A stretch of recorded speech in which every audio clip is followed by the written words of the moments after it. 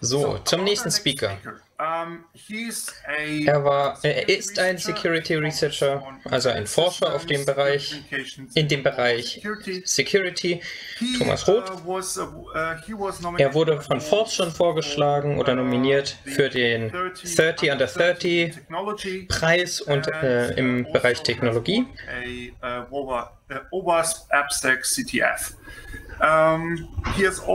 Hat andere Preise gewonnen hat auch schon sehr viele Sicherheitslücken gefunden und öffentlich gemacht und insbesondere im Bereich Nintendo oder für Nintendo. Und ja, der Talk wird sehr unterhaltsam. Insbesondere dieses Intro, ihr werdet es mögen.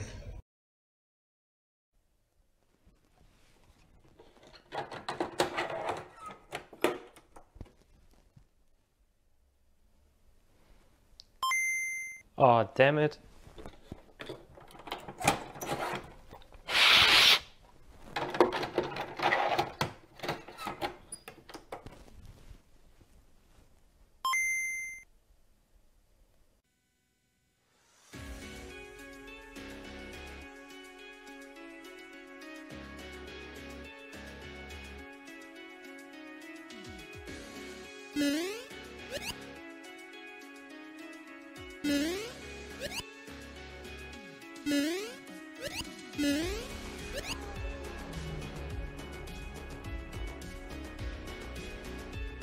Hier steht, Entschuldigung, Hacker, aber euer, unser Kongress ist nach Hamburg umgezogen.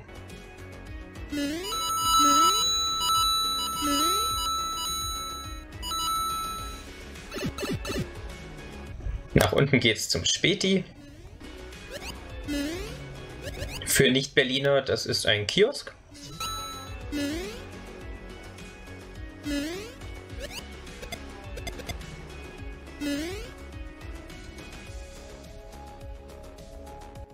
Entschuldigung, Hacker, aber unser Kongress ist nach Leipzig gezogen.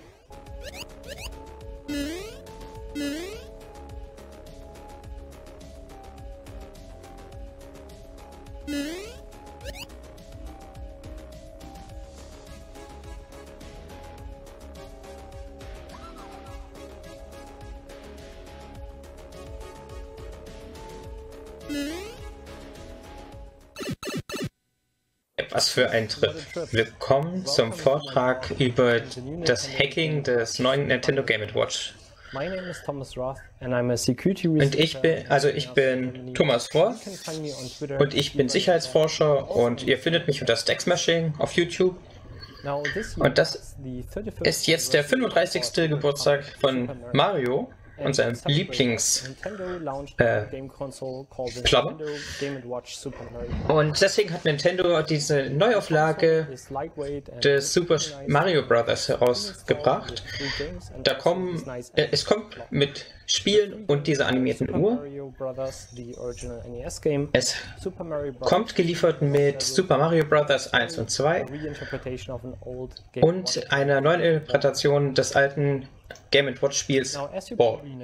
Das ist jetzt natürlich nicht die erste Retro-Konsole, die Nintendo rausgebracht hat. 2016 haben sie die NES Classic rausgebracht und später noch den SNES e Classic. Und das war jetzt bei Homebrew-Leuten sehr beliebt, weil es sehr einfach war, hier zusätzliche ROMs draufzuladen. Man konnte die Firmware leicht verändern. Und man kann die im Grunde einfach in den Computer einstecken, eine eigene Software installieren und dann machen, was immer man möchte. Der Grund ist, dass sie intern auf Linux aufbauen und einen ziemlich starken ARM-Prozessor haben. Und daher ist es ein sehr nettes Gerät, um damit herumzuspielen. Als Nintendo jetzt diese neue Konsole vorgestellt hat haben, oder angekündigt hat, haben viele Leute Hoffnung gehabt, dass es ein ähnlich schönes Gerät für die Homebrew Community wird. Und als meine größten Interessen möchte ich jetzt mal kurz nennen Reverse Engineering, Hardware Hacking und Radio Computing. Und dieses neue Gerät passt genau in die Mitte, da wo alle drei überlappen.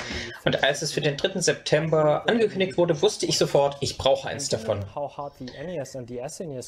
Und während obwohl die anderen beiden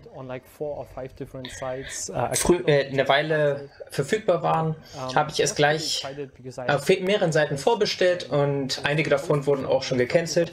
Ich hatte drei Vorbestellungen Oh. Und ja, daher war ich optimistisch. Als ich am 12. November frühstückte, hat DHL schon einen Tag vor dem offiziellen Release an mich geliefert. Es gab zu der Zeit natürlich keine technischen Informationen über das Gerät. Wenn man also auf Twitter nach Game Watch sucht, findet man eigentlich nur die Ankündigung und vielleicht ein Bild von jemand, der es auch schon erhalten hat, aber keine Bilder des Inneren und noch hatte es auch niemand gehackt. Und als Hardware-Hacker hat es mir diese einzigartige Gelegenheit gegeben, einer der ersten zu sein, der diese neue Konsole hackt. Also habe ich alles andere liegen lassen und angefangen, mir dieses Gerät genauer anzuschauen. Jetzt sollte ich natürlich sagen, dass ich normalerweise weit weg bleibe von Hacking neuer Konsolen, hauptsächlich wegen Piraterie. Ich möchte Piraten nicht helfen. Ich möchte mich nicht damit auseinandersetzen. Ich möchte keine Geräte, äh, keine Tools, keine Werkzeuge bauen, die anderen Leuten beim Spielpiraterie helfen. Aber nachdem hier keine Spiele für verkauft werden und alle Spiele gute 30 Jahre alt sind, hatte ich eigentlich keine Sorge, dass es hier ein Problem mit Piraterie geben wird. Ich fühle mich ziemlich sicher darin, Werkzeuge dafür weiterzugeben und dieses Ding auf meine Bedürfnisse zuzuschneiden, sollte keine Probleme auf nach sich ziehen. Und ja, ich möchte euch jetzt zeigen, wie ihr das selber zu Hause mit sehr einfacher Hardware nachmachen könnt und ich hoffe, ihr habt Spaß damit. Also fangen wir damit an, uns das Gerät mal genauer direkt anzugucken. Wie ihr wisst, es ist ziemlich leicht und hat ein schönes Gehäuse. Also für mich ist es ein schönes 3x20x42 LCD-Display, ein D-Pad, AMP-Knöpfe und drei Knöpfe, um zwischen den Spielen umzudrücken wechseln. Der rechten Seite ist ein Anschaltknopf und ein USB-C. Wenn ihr euch jetzt schon über den USB-Port freut, nein, da kann ich euch erzählen, dass die Datenleitungen von dem Port nicht angeschlossen sind, also kann man es nur zum Stromzufuhr nutzen. Außerdem, da wir natürlich über Nintendo reden, haben sie ihre eigenen Dreiecksschrauben. Um die aufzumachen, muss man also einen speziellen Schraubenzieher haben. Zum Glück haben aber eigentlich alle Hardware-Hacker einen. Aber es wäre sicherlich doof, wenn man einen gekauft hat und man kann ihn nicht aufmachen, weil man den Schraubenzieher nicht hat. Wenn man es also aufmacht, das erste, was man sieht, ist das Layout. Wenn ihr schon mal einen Joy-Con aufgemacht habt, dann habt ihr ihn vielleicht schon mal gesehen. Das ist genau der gleiche wie in den Joy-Cons. Das ist praktisch. Das heißt, wenn man später die Batterie kaputt ist, dann kann man einfach sich eine Joy-Con-Batterie kaufen und die man sich dann sehr günstig besorgen kann und hier reinpacken kann. Neben der Batterie auf der rechten Seite ist ein kleiner Lautsprecher, der ist nicht ziemlich gut.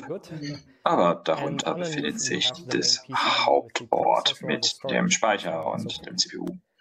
Gucken wir uns die mal genauer an. Der Hauptprozessor des Geräts ist ein STM32H7BU Wieso? Ist ein Cortex M7 von ST Microelectronics mit 1,3 Mega Speicher und 128 GB Flash. 180 MHz und der ist ziemlich stark. Aber ist viel, viel schwächer als die Prozessoren der NES.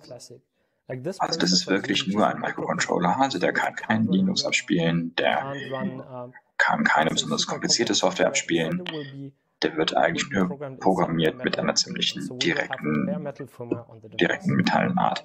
Rechts davon findet ihr einen, einen MB-Speicher von SPI.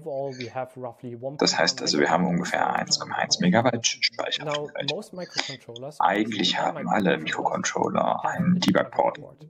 Aber wenn wir uns das jetzt genauer anguckt, hier unten links sind fünf ähm, unbestimmte Kontakte und unbestimmte Kommentare äh, Ports angucken, dann ist es ziemlich wahrscheinlich, dass das Debugging-Ports sind. Und zum Glück sagt der Datensheet für die STM32, der ist äh, offen. Das heißt, wir können uns die Pinouts vom Datenblatt angucken und dann mit einem Multimeter angucken, ob das tatsächlich die Debug-Ports sind.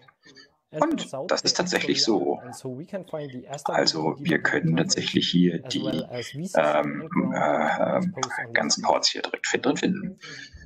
Das bedeutet also, wir können Debugger wie zum Beispiel einen G-Link oder einen ST-Link nutzen, um uns mit dem Gerät zu verbinden. Und da die Kontakte relativ leicht so, so laufen müssen wir eigentlich nichts löten. Das heißt, wir können hier einfach Testpins dran klemmen und die erlauben uns dann ganz einfach hier Debuggen zu starten. Das Problem bei den meisten Geräten ist das Debug-Interface äh, beim äh, Herstellungsprozess geschlossen. Das ist eben dazu gedacht, damit Leute wie wir eben nicht daran debuggen kommen, um uns daran hindert, Firmware runterzuladen, zu reflashen und so weiter. Deswegen war ich sehr neugierig, ob wir tatsächlich hier zum Debug-Port äh, anhängen können. Und wenn ich JLix jetzt mal startete, sahen wir, es konnte tatsächlich sich mit der CPU verbinden. Haben wir genau geguckt, da kommt auch eine Nachricht, dass das Gerät mit ähm, Active Read Protection ausgeliefert wurde. Das ist interessant, weil der Chip der STM32 etwas enthält, das nennt sich IBP Readout Protection, also Laserschutz. Das ist im Grunde die Sicherheitssetting für das Debugging Interface und es hat drei Level. Level 0 bedeutet, es ist kein Schutz aktiviert. Level 1 bedeutet, es ist der Flash-Speicher und wir können also sozusagen nichts herunterladen vom Flash-Speicher, aber wir können ähm, Inhalt vom RAM legen. Wir können dort auch Code laden. Und Level 2, das bedeutet, dass alle Debugging-Funktionen sind deaktiviert. Nur weil ein Chip in Level 2 ist, heißt das noch nicht, dass wir jetzt aufgeben müssen. Wenn wir uns Wallet.fail aufgemacht haben, als wir konnten natürlich sehen, obwohl Level 2 Production aktiviert war bei einem wir konnten dort eskalieren auf Level 1. Bei Main Watch scheint es nicht zu gehen. Das Interface ist total de deaktiviert. Wir können trotzdem den dumpen. Was ein guter Einstiegspunkt ist, obwohl wir natürlich die Firmware direkt uns holen können. Ich war sehr neugierig zu sehen, was dort als ich mir den angeguckt habe. Eins der Möglichkeiten war vielleicht, ist der Emulator, der dort läuft, vielleicht die ursprünglichen Super Mario-Daten in den RAM lädt.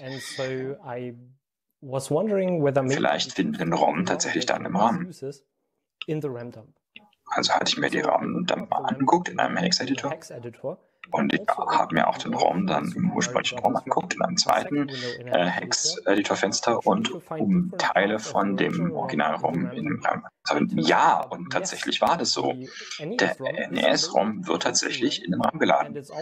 Und es ist immer die gleiche Adresse. Das heißt, wahrscheinlich ist es einfach eine 1 zu 1 Kopie oder was ähnliches. Das ist natürlich gut zu wissen, denn es bedeutet für uns, dass es für ein paar Sachen bedeuten. Erstens, der Debug ist aktiviert, aber leider nur Level 1. Das heißt, wir können den RAM runterladen wir wissen auch, dass der NES-ROM in den RAM geladen wird. Das heißt, das System läuft einen richtigen Emulator. Und das bedeutet, dass wir eventuell auch den RAM einfach ersetzen können und dann können wir was eigenes draufpacken. Next was time to Dann wurde es Zeit, den Flash-Chip des Speichers runterzuladen. Dafür habe ich ein Gerät namens MiniPro benutzt, das ähm, ein SOSI-8-Clip hat. Und den kann man einfach auf den Flash-Chip packen und dann ihn runterladen. Eine Warnung aber, aber der läuft auf 1,8 Watt. Das heißt, es ist wichtig, dass der, Entschuldigung, 1,8 Volt auch läuft. Wenn man das mit einer anderen Voltzahl macht, dann geht er kaputt und mir ist das schon mal passiert. Achtung, das sollte den Nachbar nicht machen. Mit dem Flashdump können wir tatsächlich anfangen, uns genauer anzugucken. Das erste, was ich gerne tue, ist die Entropie, also die ähm, Zufälligkeiten angucken. Habe ich mir das mit dem Binwalk, mit dem EBTEC geguckt und dann können wir die Entropiekurve gucken. Wir haben eine sehr, sehr hohe Entropie über die fast gesamte ähm, Speicherinhalt. Und das bedeutet fast immer, dass das Ganze verschlüsselt ist. Es kann auch Komprimierung sein, aber da sieht man vielleicht so kleine Dips in der Entropie und das ist hier jetzt aber nicht der Fall. Aber es ist einfach nur ein sehr, sehr hoher Wert. Ähm, auch außerdem sehen wir, dass hier keine Wiederholungen sind. Das bedeutet uns, uns eigentlich, dass es wahrscheinlich nicht einfach nur eine XOR-Verschlüsselung ist, sondern irgendetwas wie AES oder irgendwas ähnliches ist. Aber nur weil er verschlüsselt ist, heißt das nicht, dass wir ihn mit aufgeben müssen. Ganz im Gegenteil. Also im Gegenteil, das heißt nur, es ist eine Herausforderung. Es ist nicht einfach nur einstecken und los. Und jetzt die Frage ist, ist dieser Flash-Speicher verifiziert? Also startet das Gerät, auch wenn der Flash verändert wurde? Wenn ja, haben wir nämlich eine Menge Möglichkeiten, wie wir hier weiter vorgehen können. Um das zu überprüfen, habe ich eigentlich einfach nur Nullen in, in, zufällige Stellen in den Flash gepackt. Und dann habe ich überprüft, ob das Gerät immer noch startet. Und mit den meisten Veränderungen würde es immer noch, äh, oder startete es immer noch ohne Probleme. Das heißt, es wird hier nicht überprüft. Es gibt keine Prüfsumme oder irgendetwas. Das heißt, wir können das Gerät über, äh, dazu überreden, veränderte Speicherstände zu laden. Meine nächste Vermutung war, dass das NES-ROM vielleicht sogar vom externen Flash geladen wird. Und um das zu überprüfen, habe ich wieder den Flash genommen und Nullen in verschiedenen Positionen eingefügt, das reingeladen, den, das Spiel geladen, den RAM wieder ausgelesen und das dann verglichen mit dem, das ich ursprünglich ausgelesen hatte und überprüft ob, und verglichen, ob das das gleiche ist. Meine Theorie war nämlich, dass wenn man manche Bytes überschreiben kann, dann müsste ich das hier in der NS-ROM sehen, dass da die gleich, diese Veränderung passiert ist. Und nach einer halben Stunde etwa hatte ich Glück. Ich habe vier Bytes im Flash verändert und vier Bytes waren dann auch im ROM, das ich auslesen konnte, verändert. Und das ist großartig, denn das heißt, dass das, die ROM vom Flash in den RAM geladen wird und nicht verifiziert werden.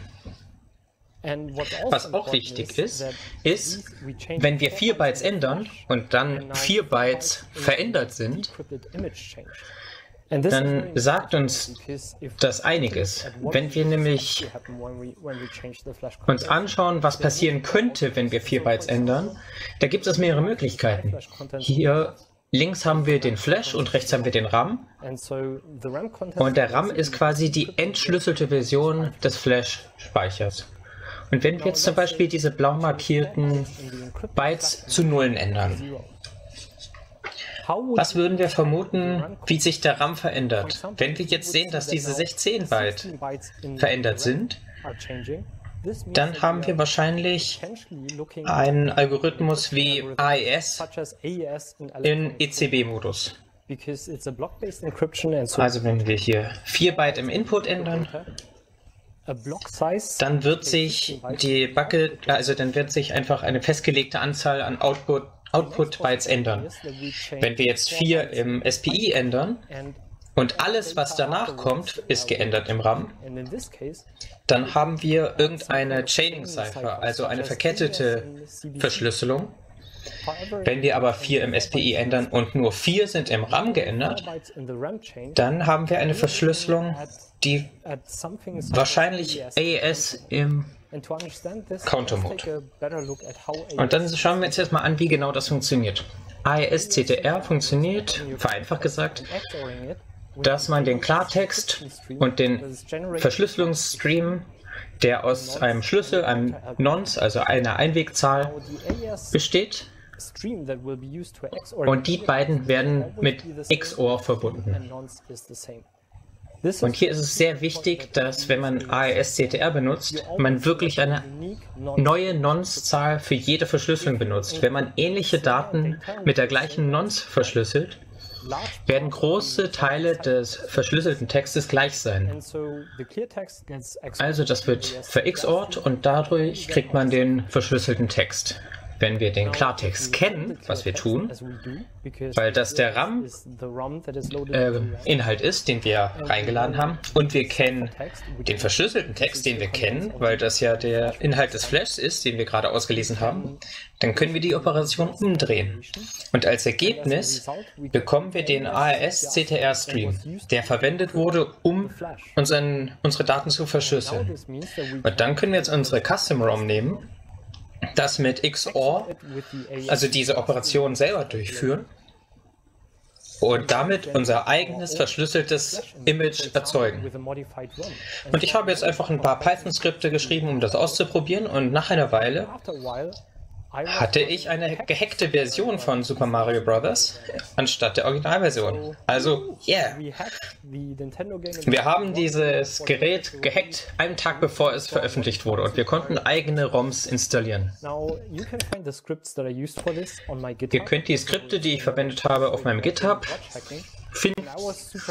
Und ich war sehr, sehr erfreut und aufgeregt, weil es hieß, dass ich wirklich dieses Gerät einen Tag vor dem Release gehackt hatte.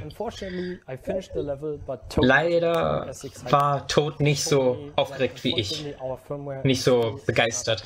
Er hat mir erzählt, dass die Firmware in einem anderen Schloss ist.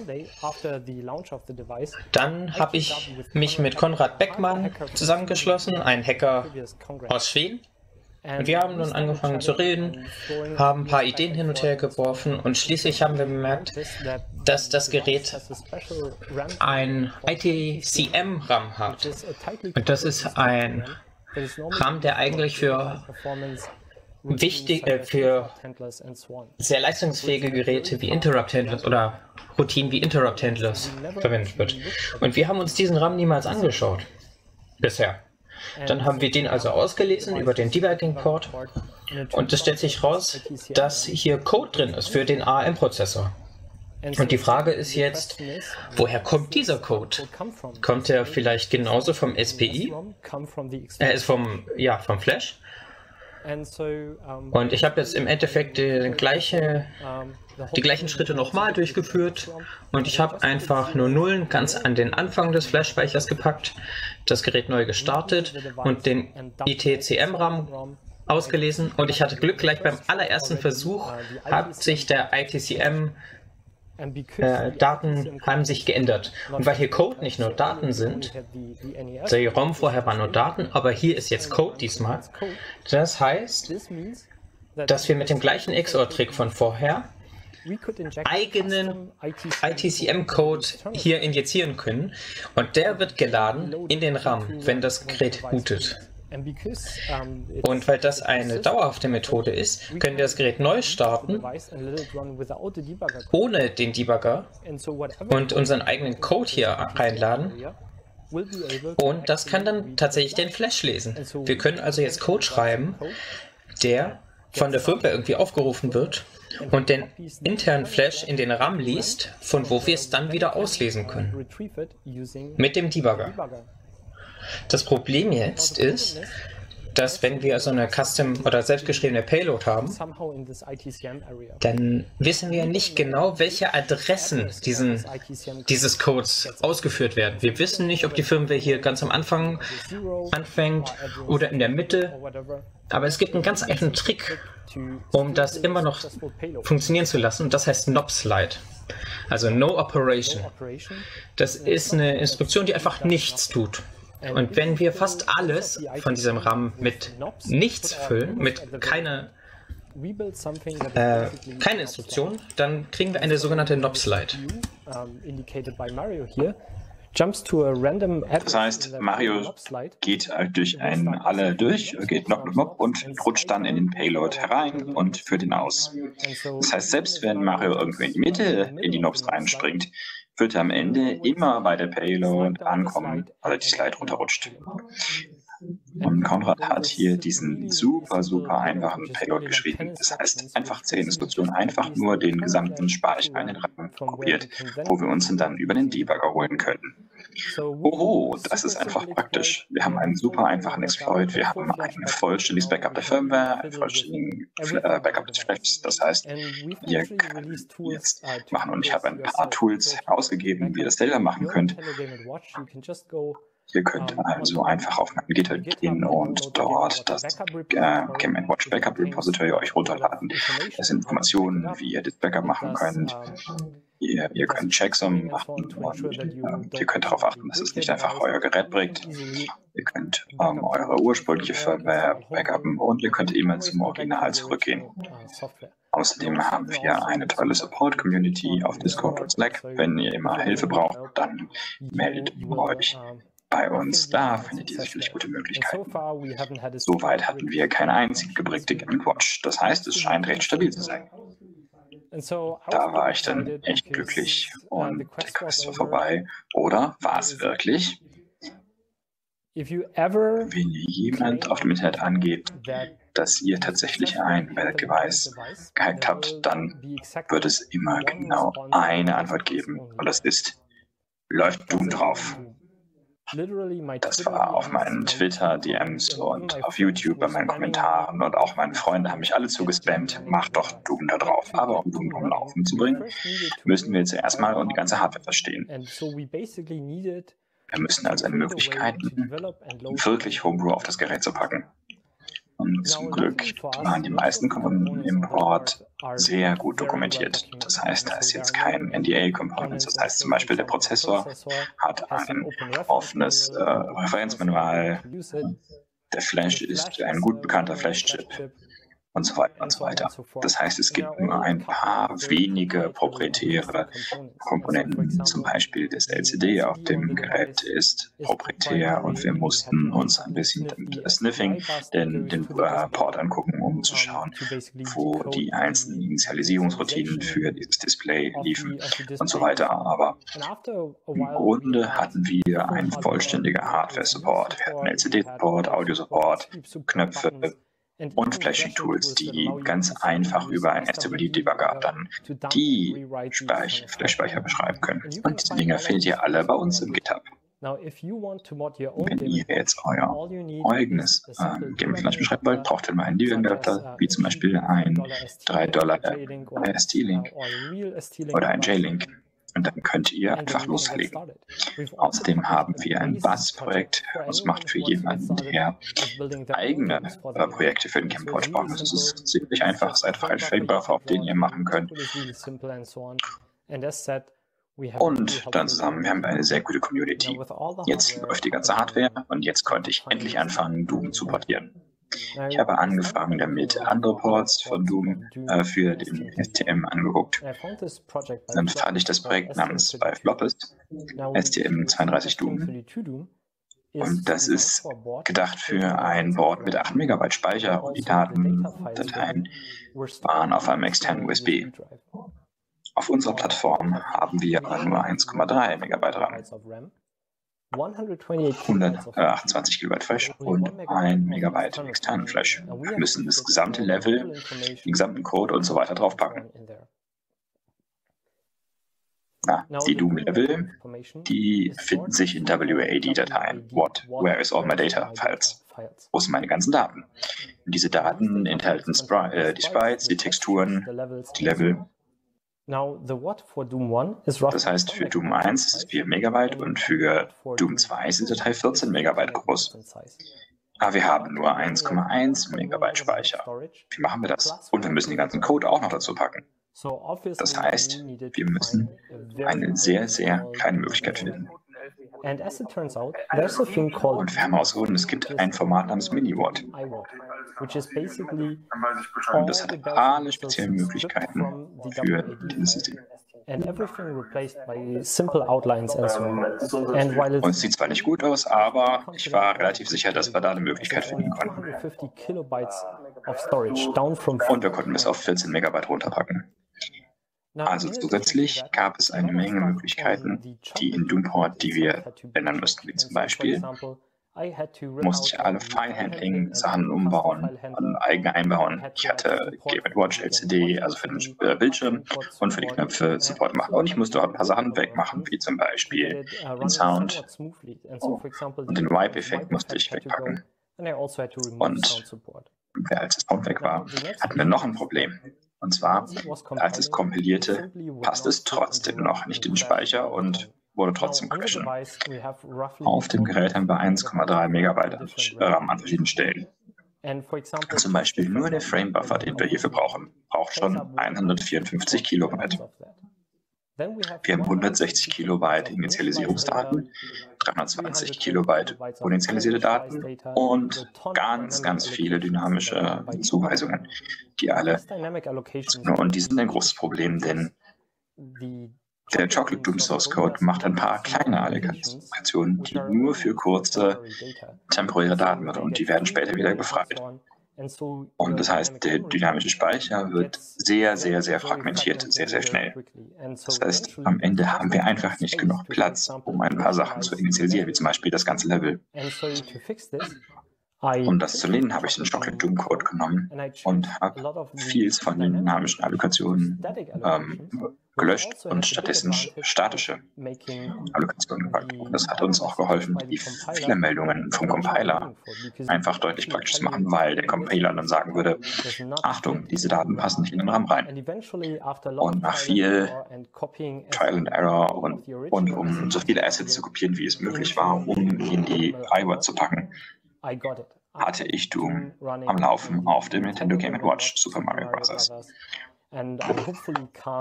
Und die Internetgötter konnten mir helfen. Und dieser Port ist jetzt nicht an den Prozessor gebunden. Ah, also es wird jetzt leider nicht möglich sein, das Gerät zu hacken, indem man es in den Computer einsteckt, aber man kann diese Geräte hier nutzen. Jetzt der wichtigste oder am häufigsten nachgefragte Art von Homebrew-Software sind Emulatoren. Und da gibt es schon eine ziemlich große Sammlung an Emulatoren. Und das hat alles mit diesem RetroGo-Projekt angefangen.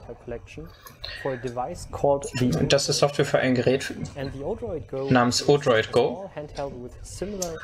Und das ist jetzt ein Gerät mit ähnlichen Beschränkungen wie die Watch and Game. Und das heißt, dass die ganze harte Arbeit eigentlich schon gemacht wurde. RetroGo kommt jetzt schon geliefert mit Emulatoren für den Game Boy, Game Boy Color und sogar für den Sega Master System und Game Gear. Und nach ein paar Tagen hatte Konrad schon dieses diese Demo fertig, dass Game Watch hier Spiele wie Zelda und so weiter abspielen kann. Und das ist schon sehr, sehr cool. Und jetzt anfangs hatten wir Probleme mit VSync, Scaling. Also anfangs, aber jetzt nach ein paar Wochen ist es wirklich ein schönes Gerät und es macht viel Spaß. Wir haben einen Gameboy-Emulator. Hier kann man jetzt die besten Gameboy-Spiele spielen, zum Beispiel Pokémon, Super Mario Games, auf dem Nintendo Game Watch. Wenn man die entsprechenden Game-Backups, äh, ROM-Backups hat natürlich. Und ja, wir wollen jetzt natürlich das Beste aus dem Bildschirm holen. Und da kann man sehr viel ändern. Man kann die Farbpalette anpassen. Und wir haben auch ein schönes Menü, um die Spiele auszuwählen. Das erlaubt es, dass man mehrere ROMs auf dem Gerät hat, zwischen denen man hin und her schalten kann. Wir unterstützen Speicherstände. Also wenn man das Spiel, äh, wenn man das Gerät ausschaltet, dann hat man einen Speicherstand und kann zurückkommen an die Stelle, wo man vorher war. Der Source Code, also der Quelltext für alles, ist hier auf meinem GitHub, nee, auf dem GitHub-Account von Konrad. Und ist wirklich großartig. Andere Leute haben jetzt Sachen gebaut, wie zum Beispiel die, das Chip 8 System. Und dieser Emulator kommt mit einer schönen Sammlung an kleinen Arcade Games. Und es wirklich macht Spaß und es ist einfach hierfür zu entwickeln. Und wenn ihr so ein Game Watch habt und das ausprobieren wollt, macht es. Es macht wirklich Spaß. Und wir arbeiten, hier ist auch Arbeit an dem Emulator für den ursprünglichen Game Watch Spiele. Also ihr könnt dann jetzt hier auf dem neuen Game Watch alle ursprünglichen Game Watch Spiele spielen. Das ist ein cooles Projekt. Und was ich wirklich toll finde, ist, wie die Community zusammengekommen ist. Wir haben unseren Fortschritt auf Twitter gepackt und Konrad hat sehr viel auf, auf Twitch gestreamt. Wir haben ein Discord aufgemacht, wo Leute dazukommen konnten, die sich dafür interessieren. Und es war einfach toll zu sehen, was die Community alles geliefert hat. Zum Beispiel haben wir jetzt ein funktionierendes Storage Upgrade, das mit sowohl Homebrew als auch dem Original funktioniert. Und statt einem Megabyte könnt ihr jetzt 16 Megabyte Flash-Speicher haben, indem ihr einfach nur einen Chip austauscht. Und das ist relativ einfach zu machen. Dann haben Daniel Cuthbert und Daniel Padilla hochauflösende ähm, Röntgenbilder zur Verfügung gestellt und damit verstehen wir jetzt viel besser, wie die Hardware aufgebaut ist, ohne irgendetwas abzulöten. Dann haben wir hier schöne ähm, Schaltbilder und er hat alle Verbindungen nachgemessen. Und ja, es ist einfach sehr viel Spaß. Sander Wanderwelt zum Beispiel hat eine eigene Rückenplatte erstellt. Und es gibt jetzt sogar Projekte, die Platine auszutauschen und den Prozessor mit einem ESP32 oder ähnlichen ähnlicher Hardware auszustatten.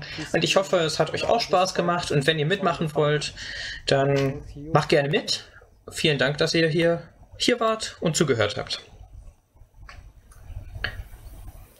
Hi. Ja, wow, das war ein sehr beeindruckender Talk, Vortrag. Wie am Anfang schon bekannt gegeben, wir nehmen Fragen entgegen und wir haben einige Fragen. Jetzt werden wir uns Mühe gegeben, dass wir alle schaffen. Die erste Frage ist, Hast du die Artikel gelesen, dass Nintendo Hacker überwachen lässt und hast, machst du dir Sorgen deswegen? Oh, oh, Luigi hat wohl mit meiner Kamera rumgespielt. Naja, also ich habe diese Artikel gelesen, aber ich denke, dass in dem Fall es keine Probleme mit Piraterie gibt, weil ich niemandem die Möglichkeit gebe, neue Spiele zu spielen. Also diese Spiele sind 30 Jahre alt und ja, also es gab sehr viele Möglichkeiten, diese Spiele zu stehlen, in Anführungszeichen. Also mache ich da keine Sorgen. Aber die Frage. Äh, ja, das beantwortet die Frage ganz gut. So, nächste Frage. Denkst du, es gibt eine Frage, einen Grund, warum ein externer Flash-Chip hier verwendet wurde? Ja, ich denke, dass der externe Flash, ah, dass der Flash des Prozessors sehr klein ist und äh, haben sie einfach nicht alles unterbekommen. Nur der Frame Buffer für die Bilder ist größer als der interne Flash-Speicher. Und das ist wohl der Grund, dass sie es gemacht haben und ich bin sehr froh, dass sie es gemacht haben. Ja, ist die Entschlüsselung in Software oder ist es in den Microcontroller eingebaut? Der Microcontroller hat ein eingebautes Feature und der Flash ist direkt gemappt in den internen Speicher und das unterstützt auch die Entschlüsselung. Also das ist alles in Hardware. Man kann sogar die Schlüssel aus der Hardware auslesen. Ah, okay, very nice. And, um, also, so, nächste Frage. Hängt damit auch ein bisschen zusammen.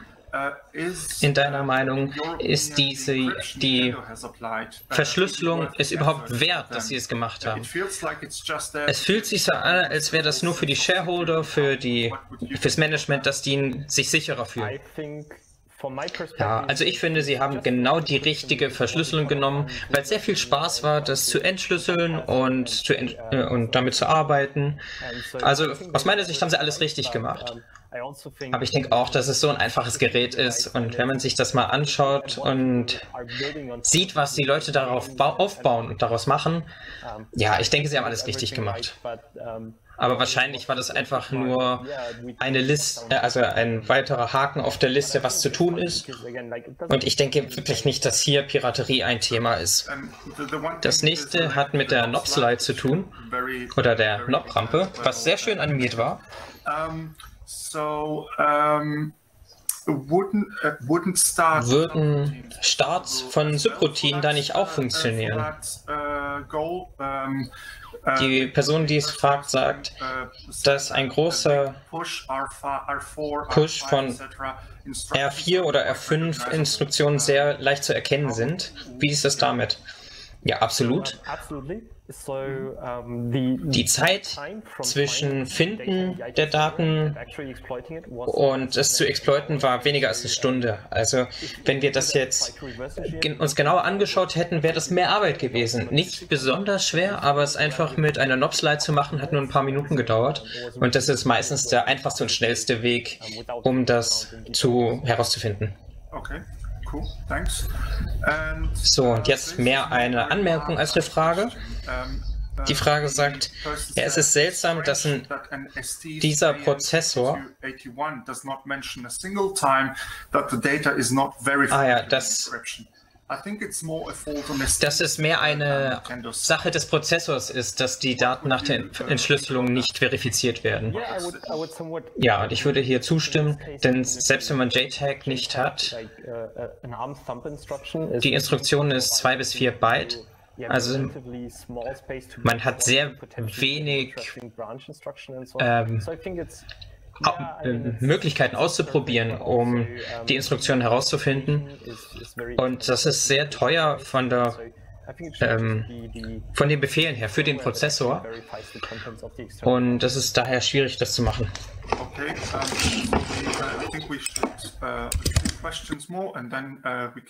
wir haben noch zwei weitere Fragen und dann geht es zurück ins Studio. Es gab eine Frage über die IS-Verschlüsselung. Ähm, Hast du herausgefunden, wie der genau lautet? Ja, das haben wir.